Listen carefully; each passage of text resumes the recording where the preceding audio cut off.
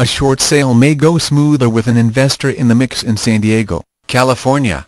With the ever-increasing number of homes in San Diego, California going into foreclosure some lenders are more than willing to enter into short sale negotiations.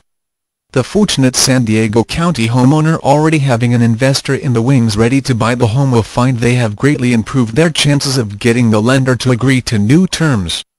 For the many homeowners in San Diego, California looking for help to stop foreclosure there are many options available. One such option is the short sale. This literally means selling a home for less than the loan balance with the lender's agreement in advance to accept the lesser amount. Short sales offer some positives as they tend to cause less damage to credit scores. Look at it from the lender's perspective. They can take a loss or even a slight gain in some cases by agreeing to the short sale, or take the home back and try to sell it in an already stagnant San Diego, California real estate market. Liken it to the old adage of a bird in the hand beats two in the bush. Lenders are in the cash flow business so an investor standing by to purchase the house may prove too tempting a proposal for them to pass up. Locating the right investor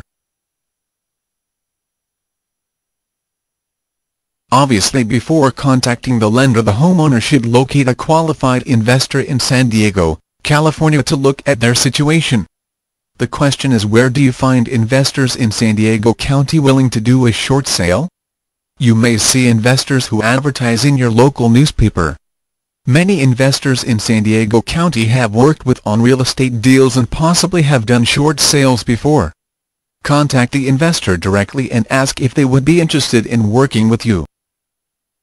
Do not be discouraged if at first you cannot find an investor in San Diego willing to do a short sale deal. Expand your search, and look throughout San Diego County. Look in neighboring counties for possibilities. If you still find it rough going look in other large cities in your state. It's a numbers game and the more contacts you make the greater the chance of finding help. Once you have the money to back the deal the greater your chances of selling the home to prevent foreclosure. Conclusion